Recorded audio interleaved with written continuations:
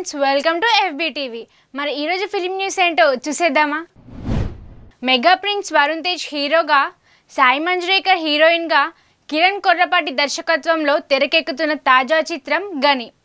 అల్లు అరవింద్ సమర్పణలో renaissance pictures మరియు అల్లుబాబీ కంపెనీల సిద్ధు ముద్ద మరియు అల్లుబాబీ సంయుక్తంగా నిర్మిస్తున్నారు.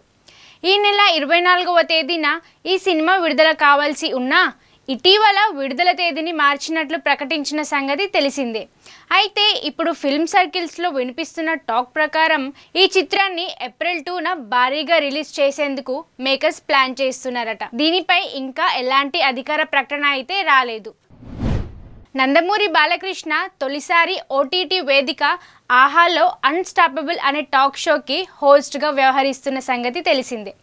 అయితే వెండితెరపైనే కాకుండా బుల్లితెరపై కూడా బాలయ్య తనదైన మేనరిజంతో విశేషంగా ఆకట్టుకుంటున్నారు. బాలకృష్ణ ఏంటి? హోస్టింగ్ ఏంటి అని ఆయన మాట్లాడటానికి తడబడతారని అనుకునే వారి అభిప్రాయం ఈ షో వల్ల మారిపోయింది. చాలా కూల్గా ఎటువంటి తడబాటు లేకుండా బాలకృష్ణ హోస్ట్ చేస్తున్న విధానం అందరి దృష్టిని ఆకట్టుకుంది. ఈ షో వల్ల ఆయనకున్న క్రేజ్ కూడా పెరిగింది. ఆర్థిక రూపంలో మాత్రమే కాకుండా ఇమేజ్ పరంగా కూడా బాలయ్యకి ఈ షో ఎంతో లాభం చేకూర్చిందని అంటున్నారు. ఇదిలా ఉంటే బాలయ్య హోస్టింగ్ చేస్తున్న ఈ షో వల్ల ఆహాకు చాలా సబ్స్క్రిప్షన్లు పెరిగినట్టు తెలుస్తోంది. ఐకాన్ స్టార్ అల్లు అర్జున్ హీరోగా రష్మిక మందాన హీరోయిన్గా సుకుమార్ దర్శకత్వంలో తెరకెక్కిన లేటెస్ట్ మూవీ పుష్ప. డిసెంబర్ పదిహేడవ తేదీన ప్రేక్షకుల ముందుకు వచ్చిన ఈ సినిమాలో సమంత ఐటమ్ సాంగ్ చేసిన సంగతి తెలిసిందే. ఊ అంటావా మావా? ఊహు అంటావా మావా? అంటూ సమంత చిందేసిన ఈ పాట యూట్యూబ్లో దుమ్మురేపుతూ రికార్డ్ వ్యూస్ని కొల్లగొడుతోంది. అయితే తాజాగా ఈ పాట అరుదైన రికార్డును సొంతం చేసుకుంది.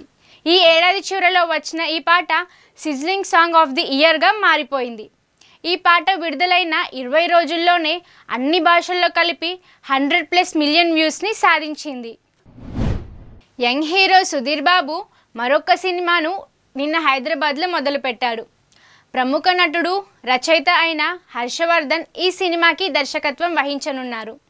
పూజ కార్యక్రమాలతో మొదలైన ఈ సినిమాని శ్రీ వెంకటేశ్వర సినిమాస్ ఎల్ఎల్పి బ్యానర్పై నారాయణ దాస్ కె. నారంగ్ పుష్కూర్ రామ్మోహన్ రావులు సంయుక్తంగా నిర్మిస్తున్నారు.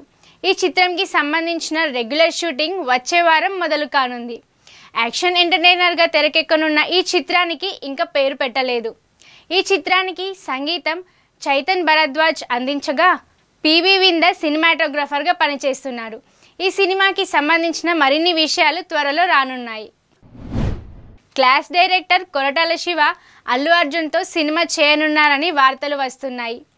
ఎన్టీఆర్తో సినిమా పూర్తి అయిన తర్వాత కొరటాల అల్లు అర్జున్తో సినిమా ప్లాన్ చేస్తాడట. రచయితగా ఉన్న సమయంలోనే బన్నీకి కొరటాల ఓ కథ చెప్పాడని. ఆ కథనే ఇప్పుడు సినిమాగా చేయాలనుకుంటున్నాడట.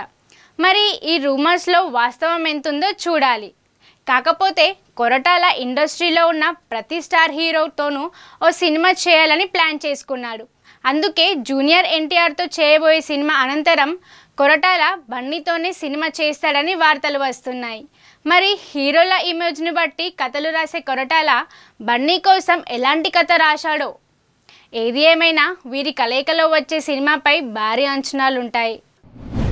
పవర్ స్టార్ పవన్ కళ్యాణ్ రానా దగ్గుబాటి హీరోలుగా మలయాళంలో బ్లాక్ బాస్టర్ హిట్ అయిన అయ్యప్పన్ కోశం చిత్రాన్ని సాగర్ కే చంద్ర భీమ్లా నాయక్ పేరుతో తెలుగులో రీమేక్ చేస్తున్న సంగతి తెలిసిందే.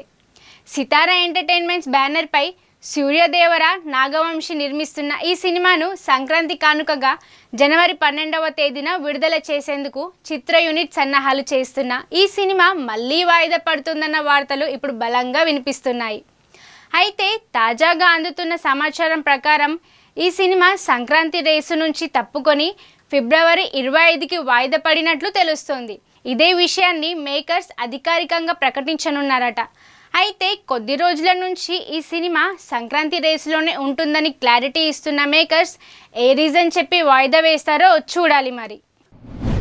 చూసారు కదండి? మరిన్ని అప్డేట్స్ వచ్చే ఎపిసోడ్లో కలుద్దాం. Until bye bye